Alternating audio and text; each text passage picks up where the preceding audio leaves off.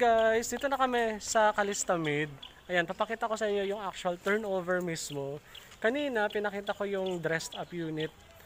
Dress up uh, Calista Pair. So combined Calista Mid yun, tsaka Calista End. Pero ito, kung isang unit lang kukunin nyo, yung Calista Mid, inner unit siya, Bale, ito yung magiging floor area. 40 square meters and the lot area is 44 square meters. Siyempre, may gate na rin, tsaka may fence. Ayan, secured na secured, tsaka may car parking talaga. At tara, puntahan natin. Pasokin natin. Ang social nito kasi, tinan niya, naka-sliding window na siya. Ba? Hindi siya jealousy lang. Pagpasok mo, ito yung pinto. Naka-double lock na rin. So, secure na secure. Yan. Yung mga sockets dito sa baba. Yan. And then, naka na rin yan, cable ready, wifi ready. Ano niya na lang talaga, ipapakabit mo na lang. Naka-vinyl planks pa rin. Ayan. So, pwede niyo naman to palitan ng tiles kung gusto niyo kapag nakalipat na kayo.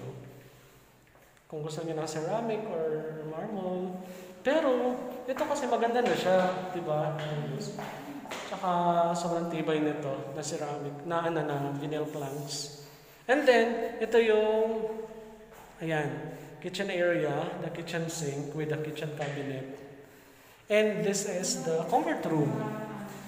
So, papagandahin nyo na lang talaga. Ayan na yung shower. May idea naman na kayo kanina. So, pinakita ko yung dress up unit. Sige. Uh, open ko muna to labas. Yan. So, bale, may uh, extra space kayo dito. Ito yung setback. Extra space kayo dito for your laundry, for your dirty kitchen. Ayan. Pwede nyo rin gawing ano yan, storage room. Ano pala yung breaker, circuit breaker sa likod ng door. At tara, akit tayo sa taas. Ito naman yung stairs. Ito, concrete, concrete siya dito. Pero pagdating dito, wooden na siya. So, concrete and wooden stairs with hand railings. Ayan, so bakal na siya. Diba, secured na secured na yung mga kids nyo, hindi talaga mahuhulog safe na safe sila. Dito, kung ka sa taas, naka-tiles na rin siya. So, naka-wooden planks na rin. Ito yung magiging master's bedroom. This is the bedroom number one. Naka-sliding window na rin siya. And then, ito, nakaabang yung aircon, AC. This is the second bedroom. Yan. Diyan kayo maglalagay ng double deck. So, kung dalawa yung anak, tapos dito sa likod, rear window, naka-jealousy na siya. Ayan, and then may extra space dito for study area. Maglagay ng study table dyan.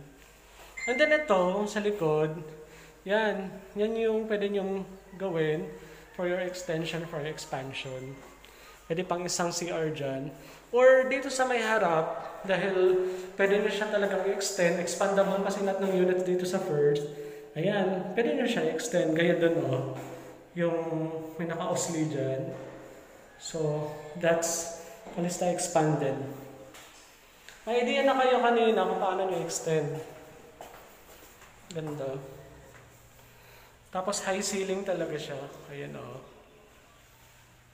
Napaka well ventilated yung bahay na to tsaka very spacious. Reservation fee for this is 12,500. This is Calista Mid. Nakabang financing po tayo.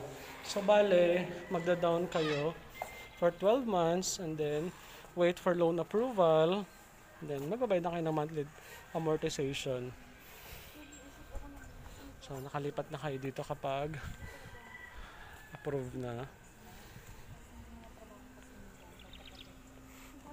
Ayan. So, ito yung kanina, yung expanded, pwede nyo siya extend ng ganyan. Yung dalawang bedrooms kanina, pwedeng maging tatlo, pwedeng maging apat. Kasi kapag in-extend niya siya, ayan, another bedroom pa yan. Tapos, dun sa likod, pwede pa siyang gawing isang CR. So, lalabas na tatlong bedrooms at saka dalawang CR. So, that's all. Ang ganda, 'di ba? Tsaka sulit na sulit 'yan. Dito lang 'yan sa First Park Homes.